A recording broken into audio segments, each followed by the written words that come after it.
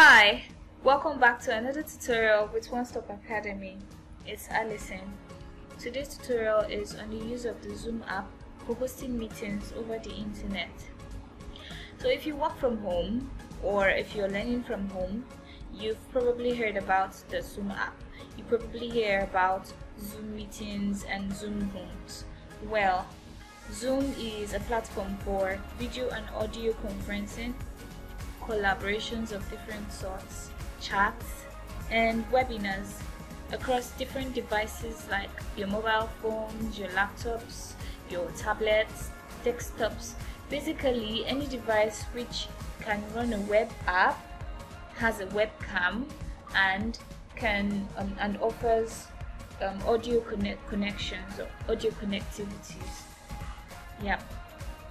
Zoom has become a household name because it's it's it's it's kind of easy to use although some of its features can be intimidating but hopefully at end of by the end of this tutorial you would have no problems using the app. So the zoom app allows you to virtually interact with um, your colleagues. So if you're a worker working from home, the Zoom app will allow you to virtually interact with your boss, for example. And if you're a teacher or if you're a student, the Zoom app will allow you to virtually connect with your teacher or your students. Amongst its services, the Zoom app allows video or audio connections or both.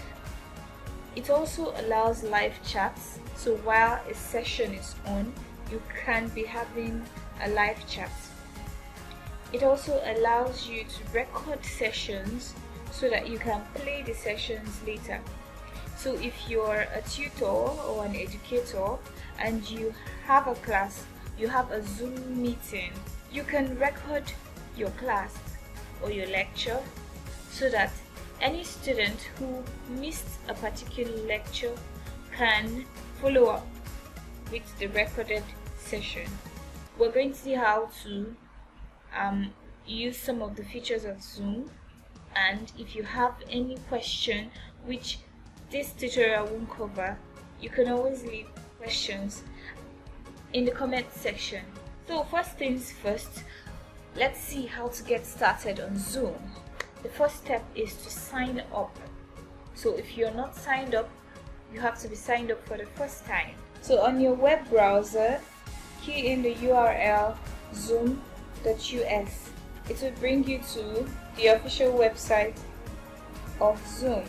On the top right corner over here, click on the on the orange button which says sign up it's free so right here this will lead you to another page to verify your date of birth this is because the Zoom app does not admit anybody less than the age of 16 or younger than 16. So, but if you're younger than 16, you can use the account of someone who is older than 16, probably to attend a class or to have a meeting of any sort. So, that's the essence of this verification. So, when you've given your age, you'll be directed to the next page which is where you include your email your work email address if you have one or just your normal email address. So you key that in and then click on the sign up button. After you must have clicked on the sign up button you will receive an email from zoom to activate your account. So access your email account and then click on the activate account button. This will redirect you to another page where you will fill in your first name, last name and where you create a password. So on this page, you fill in your first name, last name, password and click on continue. You'll be redirected to another page where you'll be asked if you would like to invite other administrators or staff members to sign up for their own Zoom accounts so you can enter their email addresses and select the I am not a robot checkbox. But if you don't want to do that, you can just click on skip this step. And when you're done with all that, you're good to go. So after the this stage, you can now start a test meeting by clicking on start meeting now. Okay, to be able to run the Zoom app on your device, you need something called a Zoom client to host meetings. It's like a plugin which you need to have on your device. So, while still on the website zoom.us, type uh, forward slash and then download. Enter.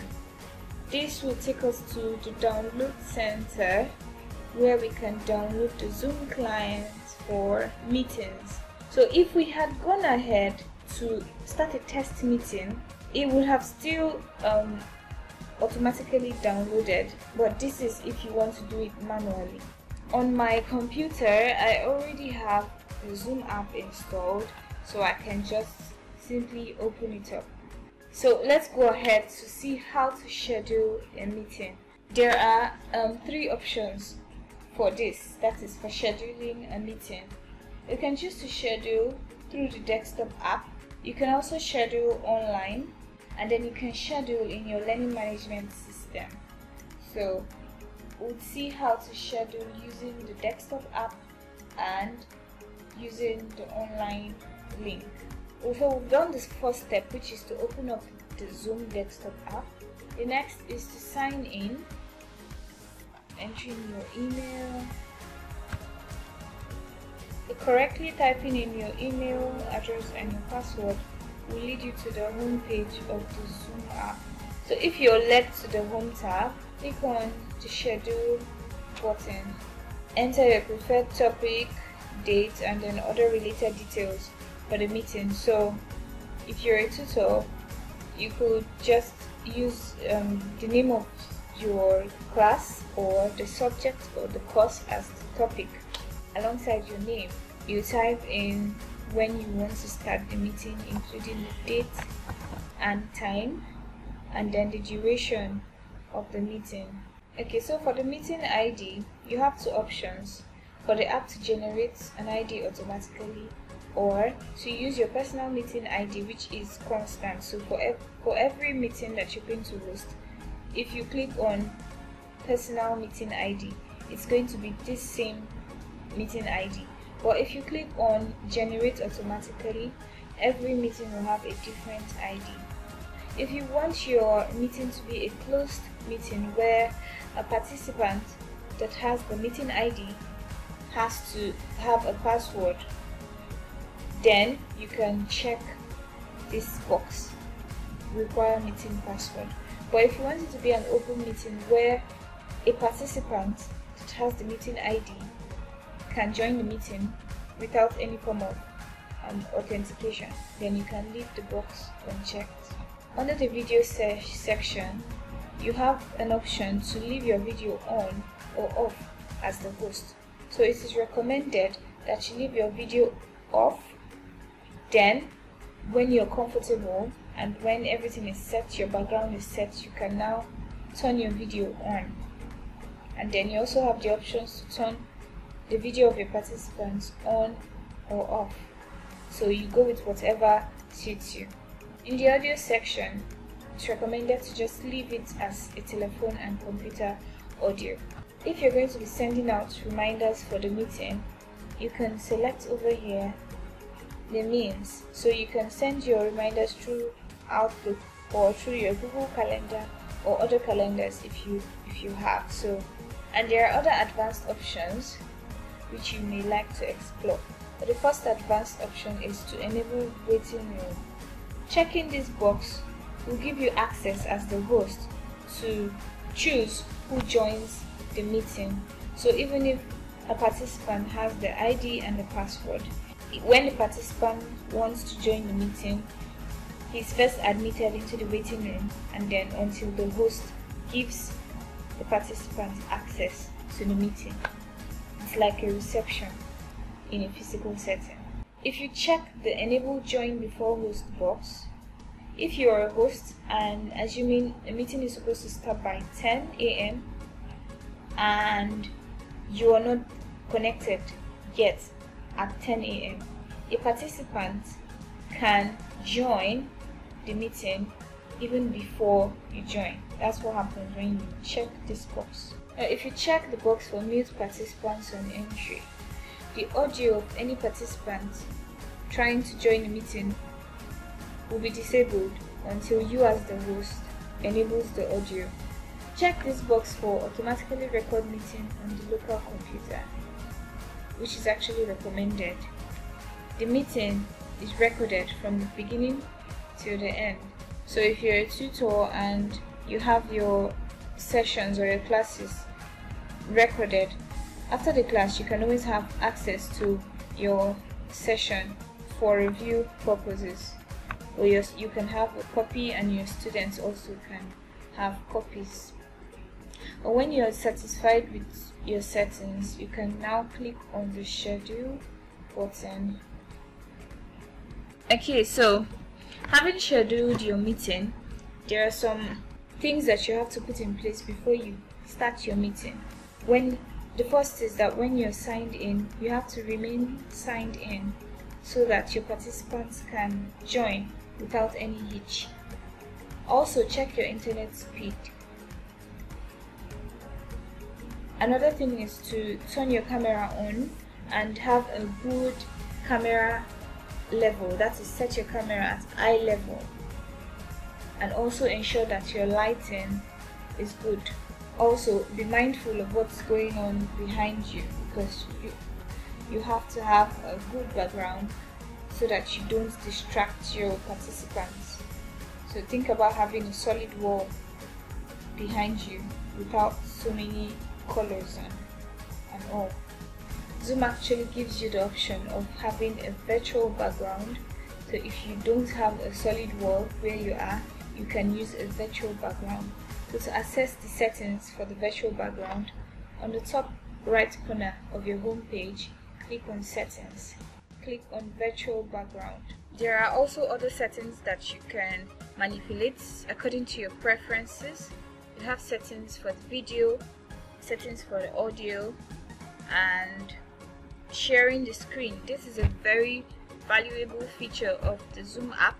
You can share your screen that is switch from the video, the, the webcam view to some other document. Like if you have some slides prepared for a presentation or a lecture you can share the screen of um, your presentation.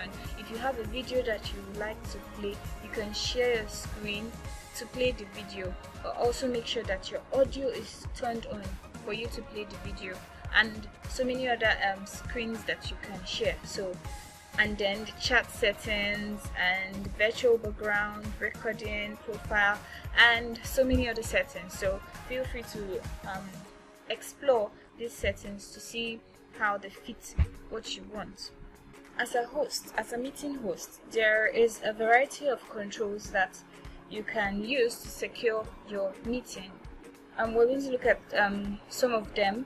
Let's just quickly schedule a meeting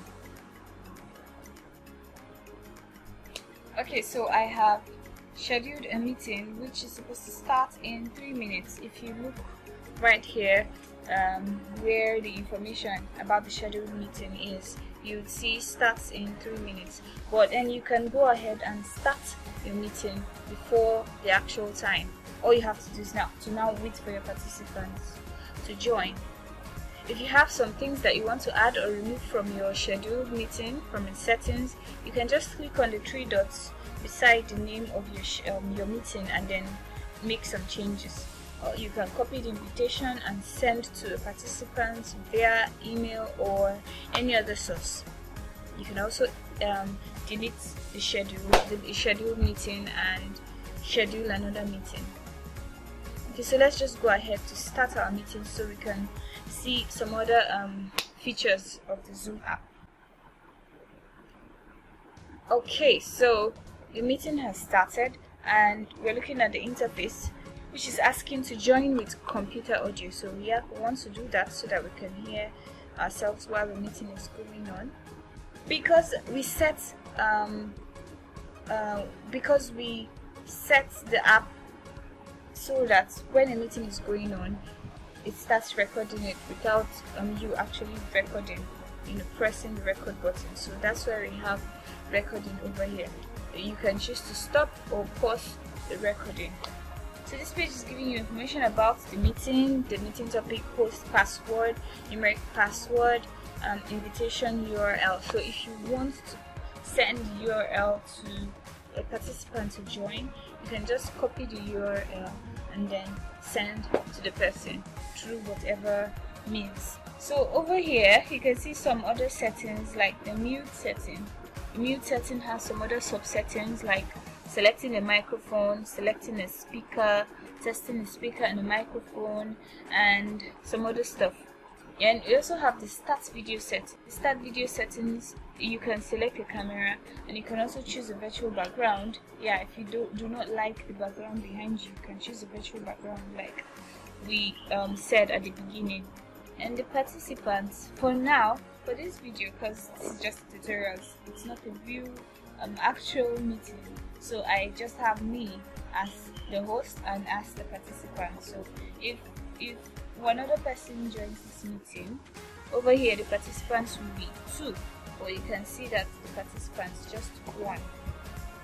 And you can manage chats here. You click on chats. It has um, created the interface for the Zoom chat. So if I type something here, if I type hi everyone, for example, it's going to send it to everyone. But if you do not want that if you had other participants then when you click this um, drop down arrow the other participants would appear as options. So you can choose who you're sending the hi to so to remove the chat interface just click on chat again now the security settings is very important also you can see a group of controls that you would um, you have access to as the host. You can decide to lock your meeting. If you lock your meeting, no other participants can join, whether they have the ID or the password. So if this is ideal when you're having a lecture and you've set the lecture time to be 2 p.m. for instance. So someone might decide to come late or join late for the lecture. So if you if you begin the meeting at 2 and you check this lock meeting anyone who wants to join after 2 o'clock cannot join because you have locked the meeting. Also, it can help you to um, perform some disciplinary action. So if there's someone who is not following the conduct of the meeting or the lecture or who has um, broken a rule per se, you can just make the person leave the meeting and then lock the meeting so the person can join. Also, you can enable and disable the waiting room. I already explained at first that a waiting room is like a reception where participants who want to join the meeting have to wait and then the host has to grant them access, just like a reception. So if the, the participant has the ID and the password, participant still has to wait for the host to grant access. If you have a large meeting, this is not recommended because the host will have to enable access to so many participants. Also, you have settings allow participants to share screen.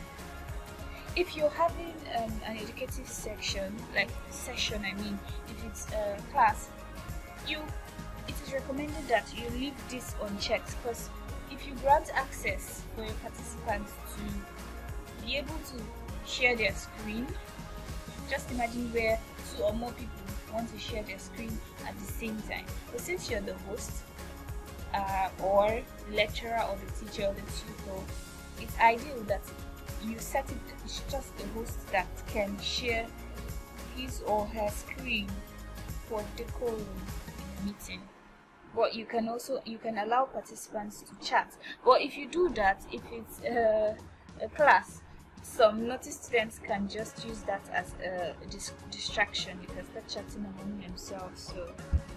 And so it's recommended that you uncheck that if it's an educative section uh, session.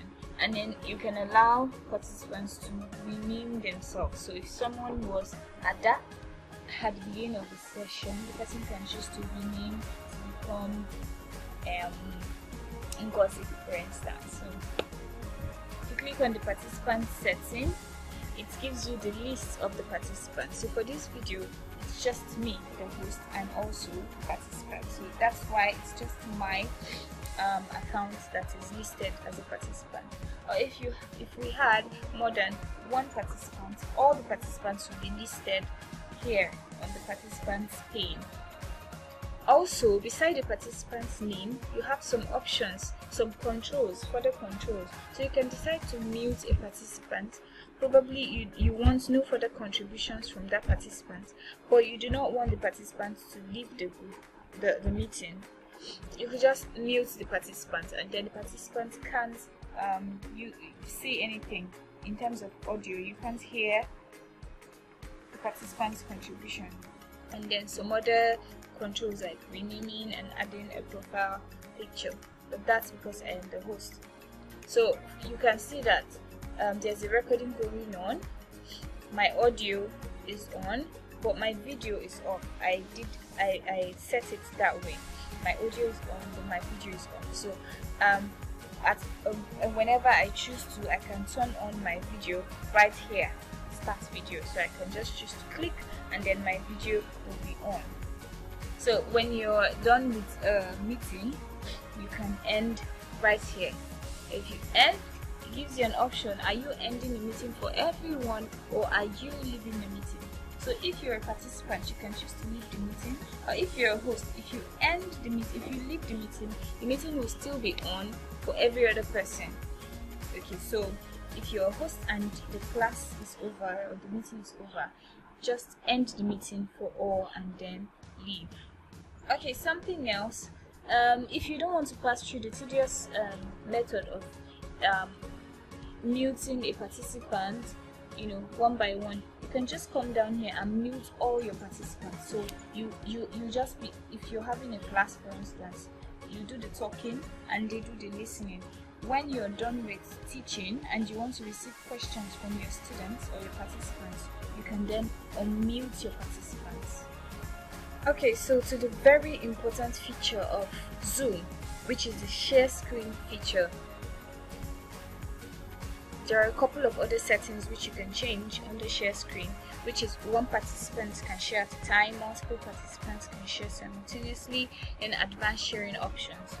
Under advanced sharing options, you can see the options to allow one participant share at a time, which is recommended actually, and then under who can share only host so this is ideal when you're having a class. Okay so imagine a meeting or a class where more than one person can share.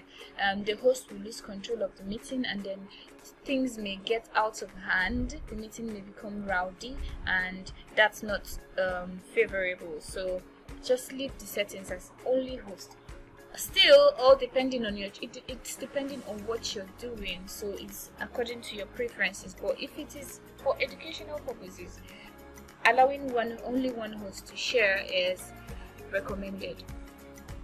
Then let's see what happens when you click on the share screen. Clicking on the share screen buttons brings some options which you can select. So which screen do you want to share? This presents all the open windows on your device. So if you're using a desktop for example my desktop I have a couple of windows open. So for instance you're having a class and you want to um, play a video which would um, you know help your class help you drive a point which, which you want the students to learn from. Then you can select the particular window where the video is playing from. But if you're going to play a video make sure that this button here share computer sound is checked. So this will allow other participants hear the audio from your computer and see your shared screen. So let's keep this checked and then open the window which we are sharing from. Click on it and then click on share. So this is a video of um, a robot fighting back and if I click on play right on it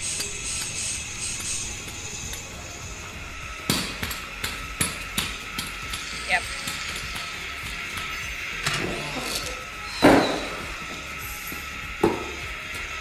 Yes, so in this case you've shared the video and then your participants can hear the sound and can see the audio. So if you're done with any particular share you can click on stop share you can also share some other thing like a presentation.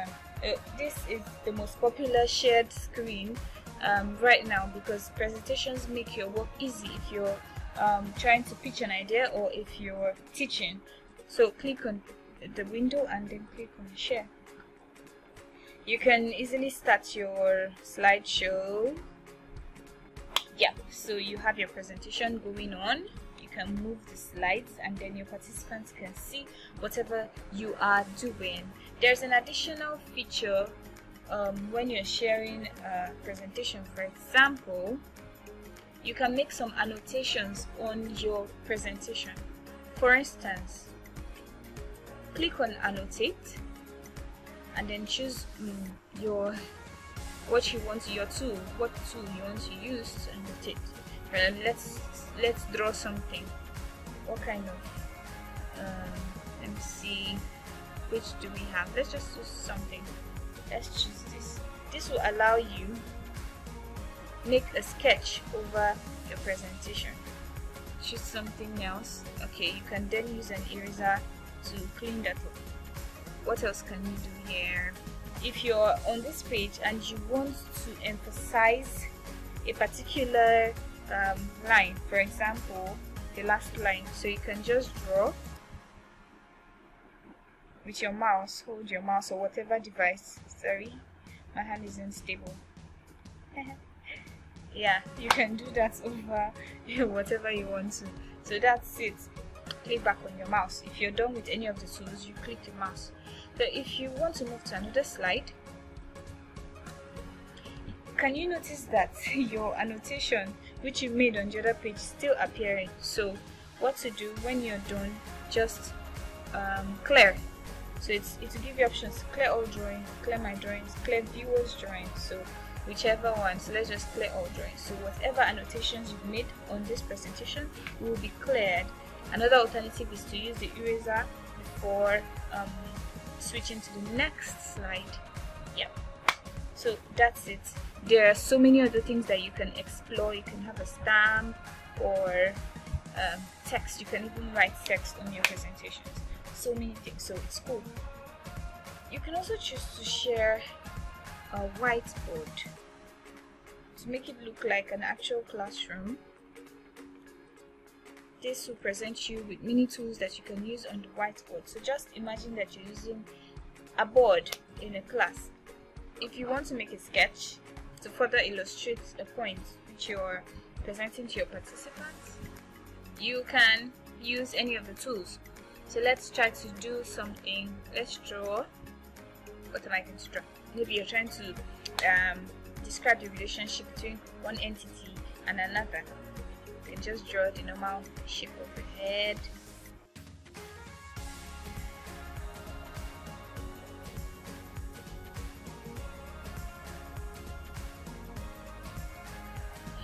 yeah so an annotation like this and or an illustration like this stick human and there are so many things you can do with the tools you have all based on your preference and what you're doing at the moment.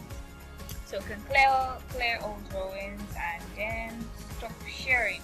So you can see it's a whole lot of options for you to um to to to, to make your presentation um, go well and and to efficiently replace the physical meetings and the physical classroom. Okay so when you're done with your meeting you can just click end. Then choose the appropriate option which is anything for all. Okay so it's converting. You remember we recorded we left our settings as record video or record meeting from beginning till end so it's now converting the um, recording to an mp4 format so that you can play it like a video and then you have audio also. So if there are any settings or there are any functions that you don't understand or you don't really understand after this tutorial please remember to leave your questions on the comment section and we'll be sure to attend to those questions. We are at your service thank you for watching and remember to like and subscribe to our channel for more educative videos and tutorials. See you in the next video. Bye.